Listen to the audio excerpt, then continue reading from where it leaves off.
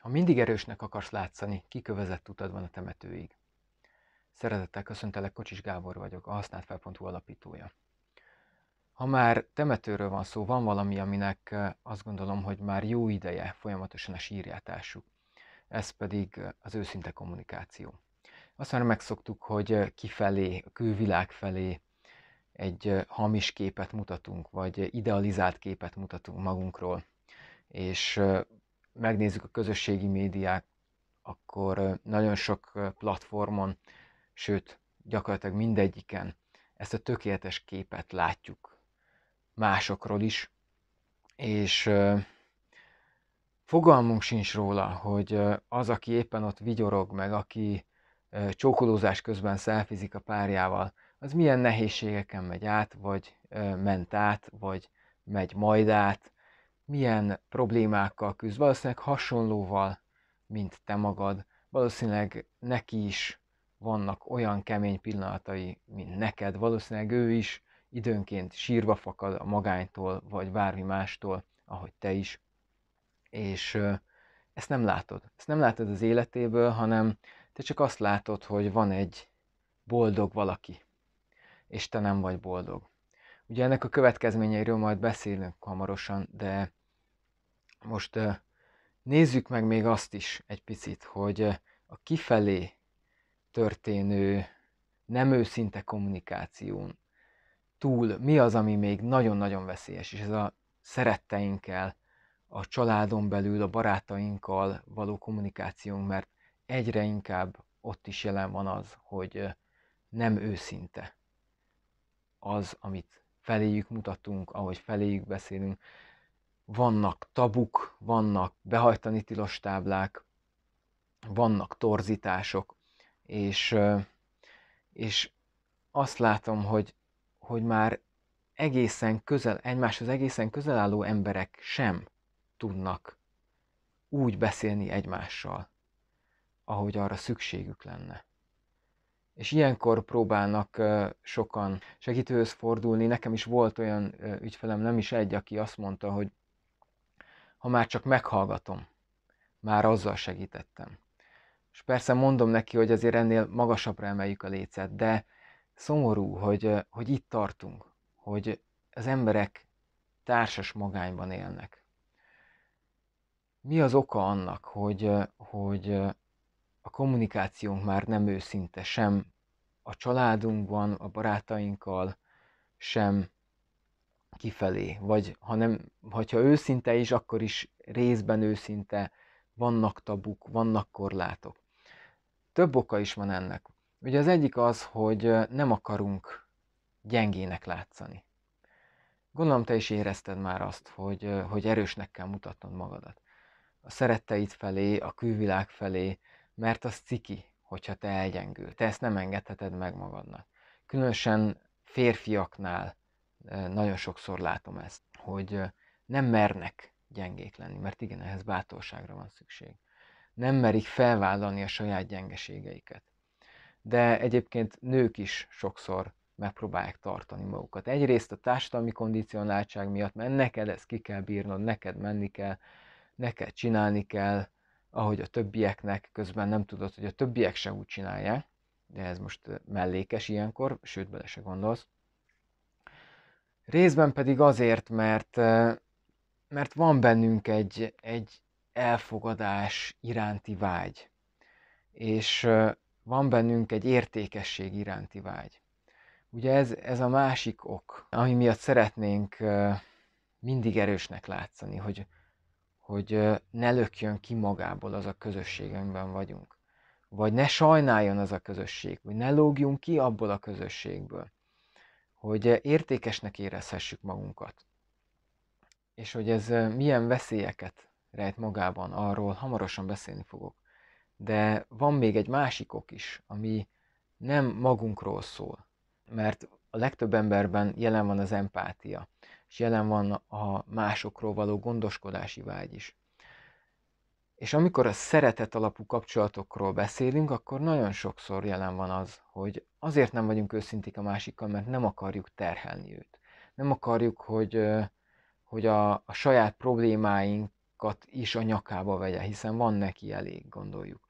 És ezért nem osztjuk meg azt, ami éppen fáj, vagy ami, ami nem tetszik, vagy ami, amivel éppen küzdünk. A következmények pedig nagyon sok esetben akár végzetesek is lehetnek a kapcsolatra nézve, de olyan is van, hogy az egyénre nézve is. Ugye mi történik ilyenkor? Az egyik út az, hogy a folyamatos elfolytás, az, hogy, hogy folyamatosan kontrollálod azt, hogy mit kommunikálsz a másik ember felé, és nem fejezed ki őszintén az érzéseidet és a gondolataidat.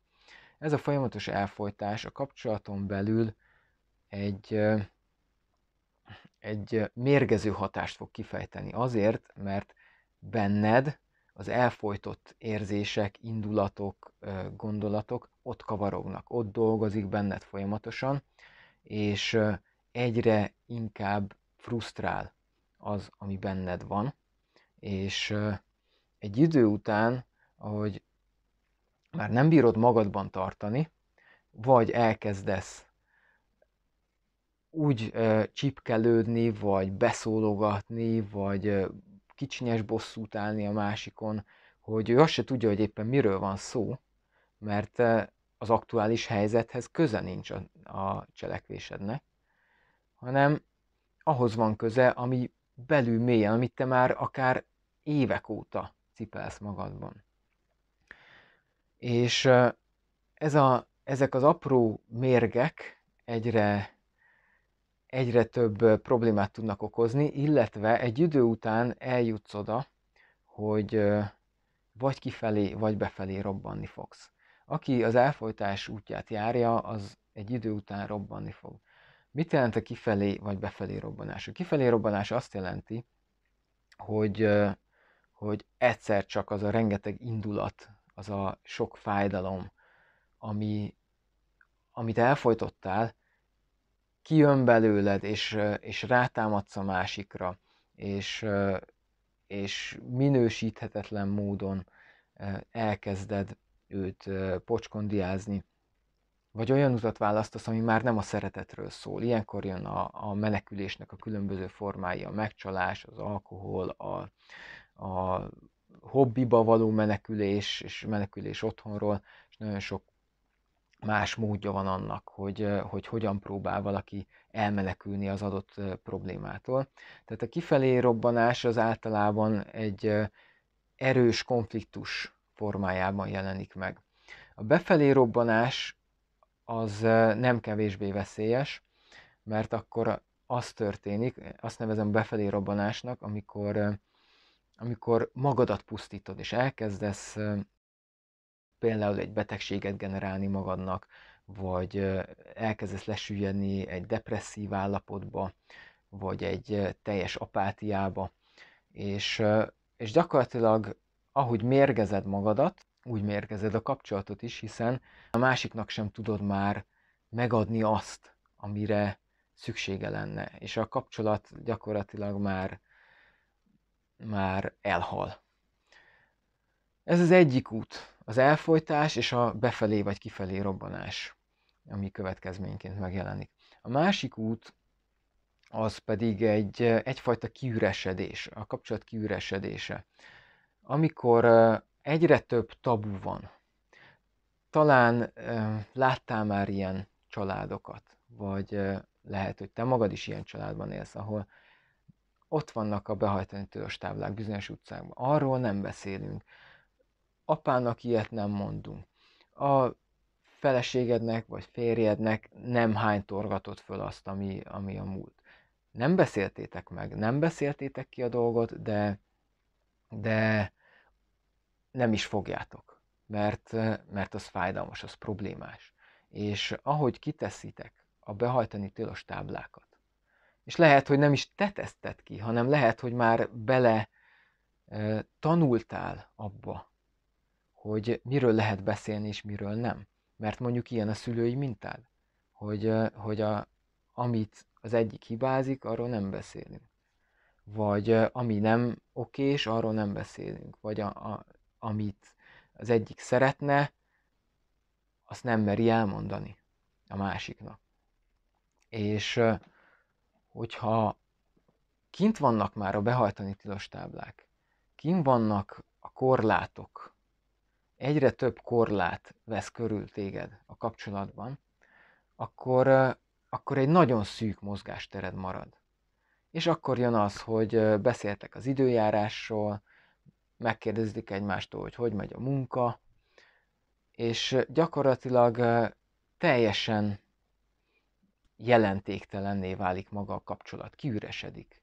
Mert, mert annyi tilos van benne, annyi behajtani tilos tábla, hogy, hogy amiről lehet beszélni, az, az már nem, nagyon nem az a szeretet alapú kapcsolat, amit, amit ápolhatnál azokkal, akik közel állnak hozzád.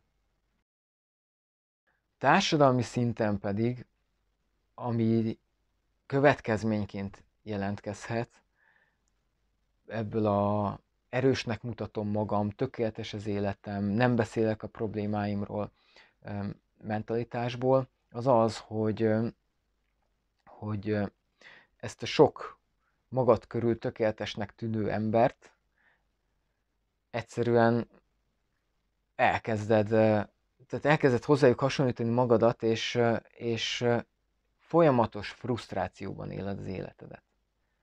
Folyamatosan azon agyalsz, hogy neked miért ilyen szar az életed, és neki miért jobb. És, és gyakorlatilag egy olyan ideálhoz hasonlítod magadat, ami nem létezik. Nem létezik. És, és esélyed nincsen arra, hogy valaha is boldog legyél, hiszen a boldogságod mércéje az az, hogy elérjed azt, ami nem létezik, amit mutat a másik, meg a harmadik, meg a negyedik magad körül. És ezért van az, hogy ennyi frusztrált ember van, hogy, hogy nincsenek rendben magukkal az emberek, és hogyha valakinek véletlenül rálépsz a lábára a buszon, akkor elkezd anyázni, és elkezd olyan, tehát olyan reakciót mutat, ami, ami teljesen indokolatlan. De nem azért, tehát az nem annak szól, hogy ráléptél a lábára, az az egész életének szól. Hogy egy folyamatos, frusztrált állapotban próbálja a mindennapjait túlélni. Azért, mert, mert hamis képekhez hasonlítja magát.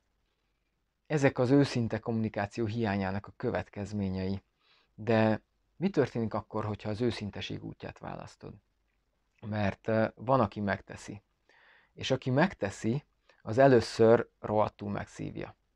Ez van. Igen, úgy tűnik, hogy rohadtul megszívja, mert, mert önmagad gyengeségeivel szembenézni, az baromi fájdalmas.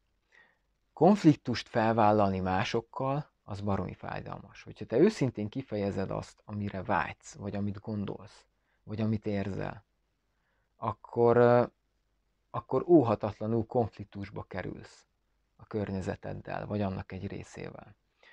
És nagyon sokan itt már megrettennek, és ezért nem is teszik meg ezt. Nem vállalják fel őszintén önmagukat.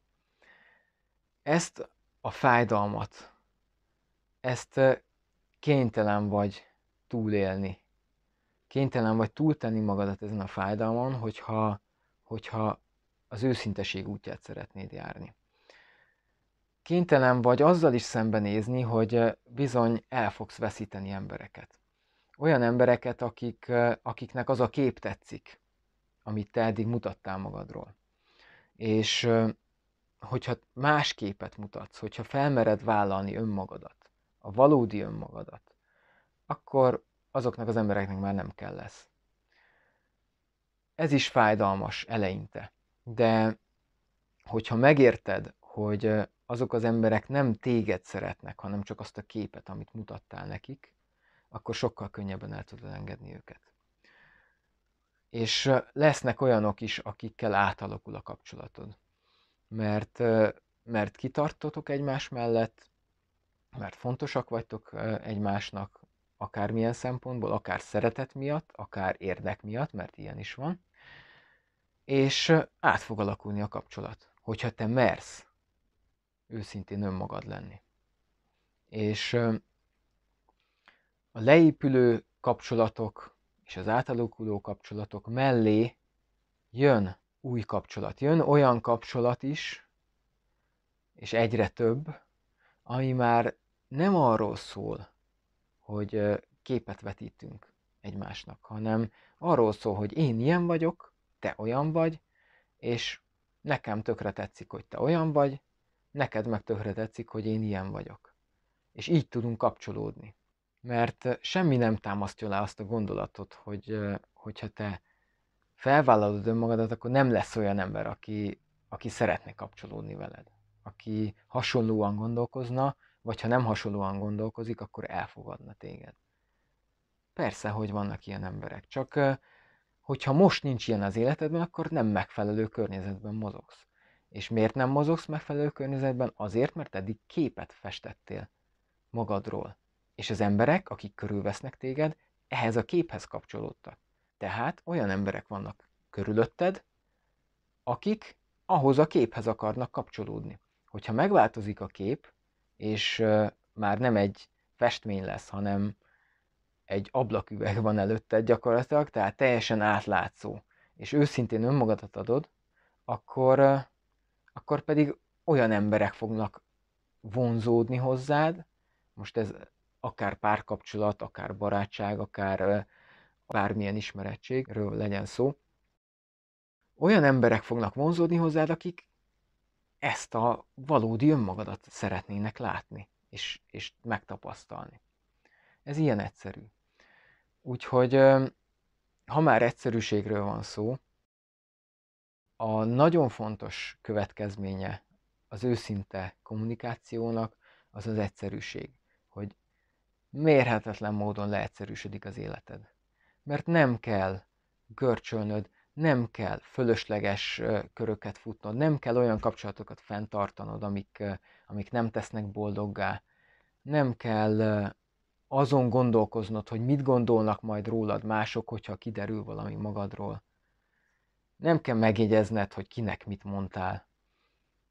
Egyszerűen csak adod önmagadat, és agyalás nélkül kapcsolódsz az emberekkel, kapcsolódsz önmagaddal.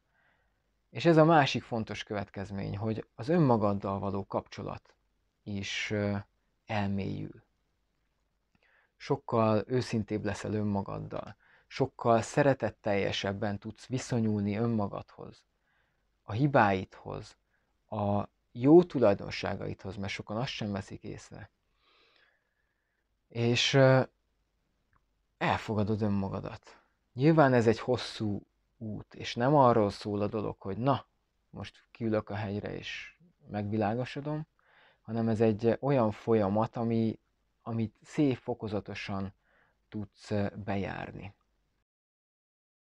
És ahogy bejárod ezt az utat, úgy tisztulnak az emberi kapcsolataid is. Tisztulnak és mélyülnek.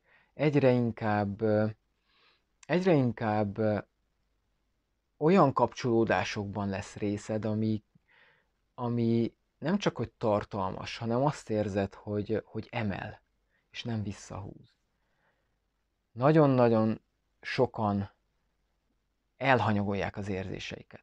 Találkoznak valakivel, akár egy barátjukkal, vagy barátnak gondolt személlyel, és azt érzik, hogy, hogy a találkozás után leszívta a másik az energiájukat. Nem pedig emelte. Nem, nem emeltétek egymást, hanem, hanem csak vagy az egyik a másikat, vagy pedig mindketten lehúztátok egymást. Ezektől a kapcsolatoktól tudsz megszabadulni, vagy ezek a kapcsolatok tudnak átalakulni. És, és egyre több olyan ember lesz az életedben, akik emelnek, akik, akikkel ha találkozol, akkor úgy jössz el, hogy többé váltál, energikusabbá váltál, jobb embernek érzed magadat, vagy egyszerűen csak boldognak érzed magadat azáltal, hogy találkoztatok. És ahogy letisztul, letisztul a környezeted, és letisztul benned az a sok szemét, amit a külső megfelelés, és az erősnek mutogatás, és a gyerekkori kondicionálás hozott, az életedbe, ahogy ezek, ezektől megszabadulsz, ahogy ezek letisztulnak, azt veszed észre, hogy rendben vagy magaddal. És természetesen nem kell illúziókban ringatni magunkat, hogy, hogy onnantól kezdve tökéletes az életünk. Mert a tökéletesség azt gondolom, hogy, hogy az lehet cél, de egy olyan cél, amit nem fogunk elérni, hanem mindig közelítünk hozzá, és jöhetnek nehézségek, de már azokon a nehézségeken is sokkal könnyebben tudsz átlendülni. Mert egy csomó tehertől megszabadultál, és már tényleg arra tudsz fókuszálni, ami fontos, ami lényeges, amiért itt vagy a Földön. Úgyhogy ha az őszinte kommunikáció már régen kiveszett kapcsolataidból, legyen szó a közeli hozzátartozóiddal való kapcsolatról, vagy a külvilággal való kapcsolatodról, akkor, akkor lehet, hogy itt az ideje, hogy, hogy újra, újra behozd az életedbe. Vagy talán most először, mert az is lehet, hogy soha nem volt jelen a teljes őszinte kommunikáció. És az őszinte kommunikációnál természetesen nem arról van szó, hogy, hogy bunkó legyél a másikkal, hogy nyersen megmondod azt, ami nem tetszik, hanem empatikusan, ahogy az eső, amikor, amikor rád esik, felveszi az alakodat, átáztat, szép fokozatosan. Így tudod átáztatni a másikat is a gondolataiddal, az érzéseiddel, hogy, hogy figyelembe veszed az ő alakját, úgymond, az ő érzéseit, az ő gondolatait, az ő személyiségét, és annak megfelelően átadod a, a te érzéseidet, gondolataidat. Tehát figyelembe veszed azt, hogy ő is egy érző lény. És ő is egy önálló lény, akinek vannak saját érzés és saját gondolatai. És hogyha ezt így tudod megtenni, ezt hívják ugye asszertív kommunikációnak. Hogyha ezt így meg tudod valósítani, akkor jönnek el azok az eredmények, amikről az előbb beszéltem. És, és hogyha eddig még nem volt jelen az életedben ez a fajta kommunikáció, akkor érdemes apránként, kis lépésekkel behoznod az életedbe. Azért, hogy megtapasztald azt az életet, amit, amit megérdemelsz élni. Szívből kívánom, hogy sikerüljön. Ha hasznos volt számodra ez a videó, akkor köszönöm szépen, hogyha megosztod másokkal is, és további értékes tartalmakat találsz a használtfel.hu oldalon. Illetve, hogyha nem szeretnél lemaradni a videóimról, akkor érdemes feliratkoznod a YouTube csatornámra. Köszönöm szépen a figyelmedet! thank you